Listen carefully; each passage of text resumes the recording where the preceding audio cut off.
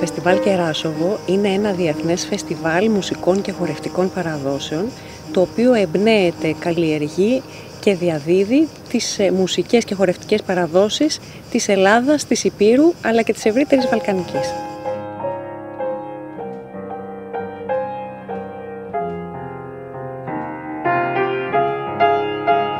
Ξεκίνησε το 2014 και από το 2016 διοργανώνεται από την αστική μη κερδοσκοπική εταιρεία Μούσα.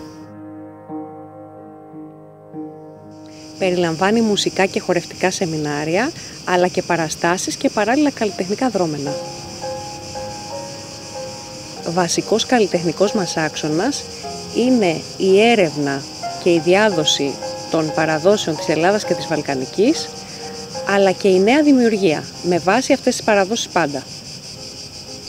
Συμμετέχουν μαθητές και δάσκαλοι που έρχονται από την Ελλάδα αλλά και όλη την Ευρώπη.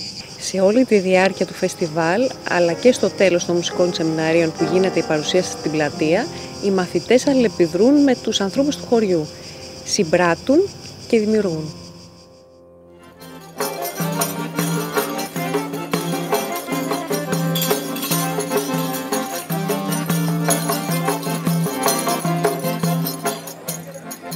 Λίγο ξεκινάει η συναυλία στο σχολείο με έντεγνες συνθέσεις και παραδοσιακή μουσική.